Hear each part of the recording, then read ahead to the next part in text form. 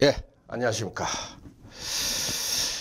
자, 지금까지 배운 게 지금 현재 거의가 여기에서 놀고 있었죠. 지금 현재 여기서 중요한 포인트는 중요한 포인트가 지금 현재 공부하신 게 일장에서 자, 독성 물질의 농도에 따라 반응이 어떻게 나타났는가? Y축의 반응, X축의 농도. 이랬을 때 이 독성 물질이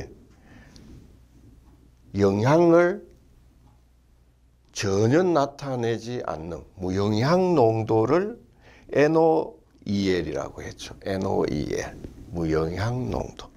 그 다음에 관찰은 되었는데 영향은 없다. 관찰은 되었는데 영향이 없는 것을 NOAEL 라고 했죠. 그 다음에 영향이 나타났는데 그 영향이 최소인 농도일 때 거의 최소 영향 관찰 용량 LOAEL 라고 했죠. 이것은 자꾸 이렇게 보시면서 익숙해지셔야 됩니다.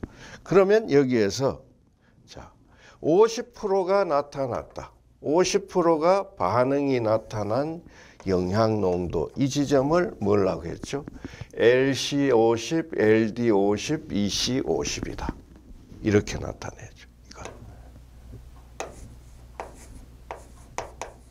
LC50, LD50, EC50 이렇게.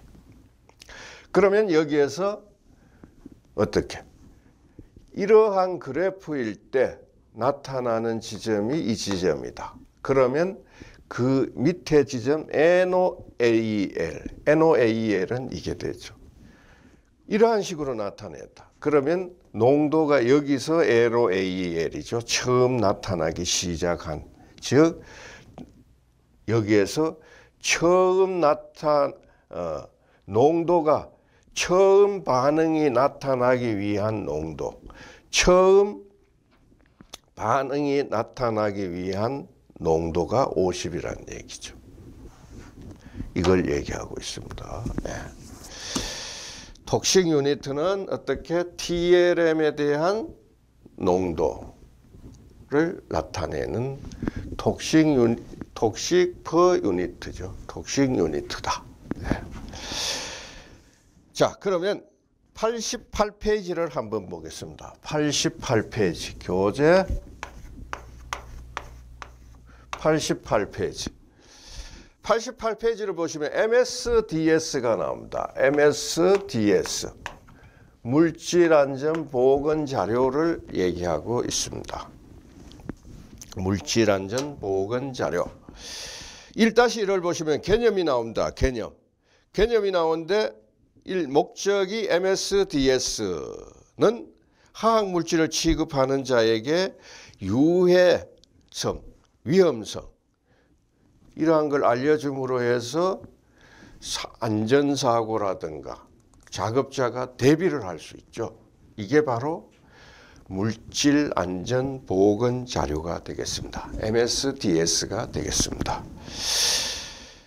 그 다음 참고를 보시면은 참고를 보시면 교재 88페이지 가운데 참고가 나와 있죠. 갈로를 해서 보시면은 화학 물질의 분류 및 표시에 관한 세계 조화 시스템 GHS GHS 세계 조화 시스템 이게 뭐라고 배우셨죠? 앞에서 이게 표기 방법이라든가 이런 게 다 분산되는 걸 통일화시킨 거죠. 세계적으로. 통일화시키기 위한 게 바로 세계 조화 시스템입니다. 뭐 독서이다. 뭐 물질안전 보건자료는 어떠한 순서로 무엇을 기재해야 한다. 이러한 걸 통일화시킨 게 바로 어, 세계 조화 시스템이 되겠습니다.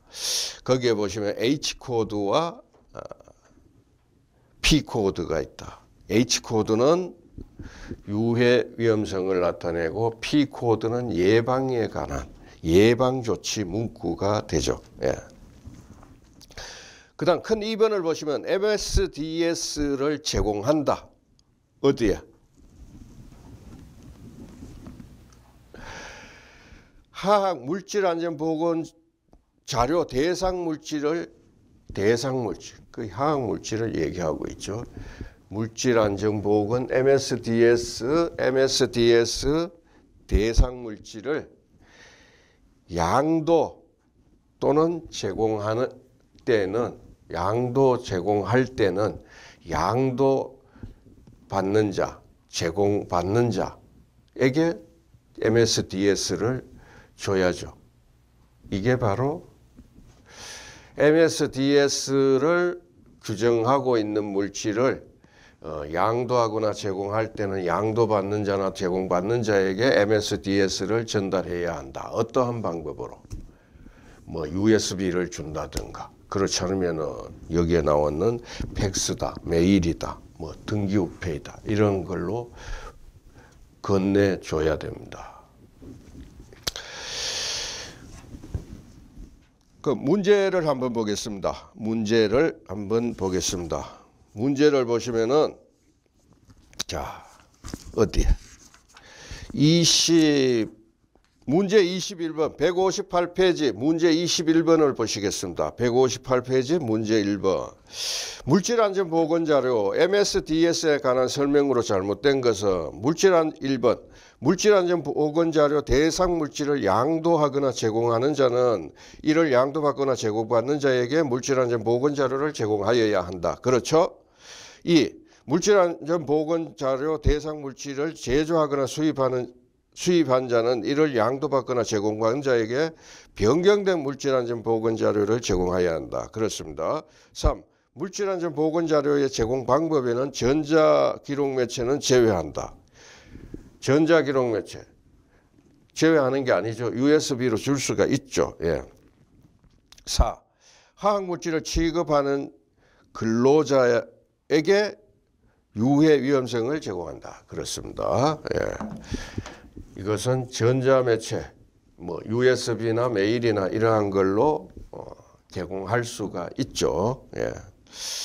그 다음 89페이지로 돌아가겠습니다. 89페이지 어, 상단에 보시면은 MSDS의 게시 및 비치 어디에 비치를 해야 되냐? 이를 보시면은 동그라미 1을 보시면 대상화학 물질 작업 공정 내. 그 다음에 2번 보시면 안전사고 또는 직업병 발생 우려가 있는 장소. 3. 작업장 근로자가 가장 보기 쉬운 곳. 그러니까 이 MSDS는 이 화학 물질을 어, 제조, 보관, 저장 뭐 이러한데 그 다음에 저장하고 뭐 어? 어, 이런데 다 비치를 해야죠. 또 작업 공정 내에 사람이 가장 보기 쉬운 장 수시로 볼 수 있게끔 예. MSDS를 비치하여야 한다. 자, 1-2를 보시면은 MSDS의 작성 항목 및 기재 사항이 있습니다. 무엇을 그러면 물질안전보건자로 MSDS의 이것을 기재를 해야 되는가? 기재하여야 어, 기재하기 전에 이것을 어떻게 기재를 하는가를 설명을 해놨습니다. 동그라미 1을 보시면은 음, 물질안전보건자료는 노출에 의한 잠재적 건강 영향과 안전한 취급에 관한 정보가 포함되어야 한다. 이 작성은 일괄적이고 일관적이고 완전한 형태로 정보가 제공되도록 하여야 한다. 뭐 쭉 내려가서 이게 자기만 알면 안 되죠. 누가 봐도 아 이거는 뭐 어? 무슨 내용이다 어떻게 취급하라는 내용이다 무엇을 어, 주의하라는 내용이다 뭘 경계를 하라는 내용이다 이거 누가 봐도 그걸 알 수 있게끔 그렇게 기재를 해야 됩니다 그래서 쭉 보면은 동그라미 4를 보시면 용어는 용어는 은어 두 문자 약어를 피하고 간단 정확 명료하여야 한다. 5. 특정 성질에 대한 정보가 없는 경우 이를 명확히 기재하여야 한다. 거의 전체 내용으로 봐서 이게 제3자가 봐서 쉽게 말씀드려 어린애가 보더라도 아 이게 뭔 내용이다라는 걸 명확하게 알 수 있게끔 표기를 해야 된다는 얘기입니다.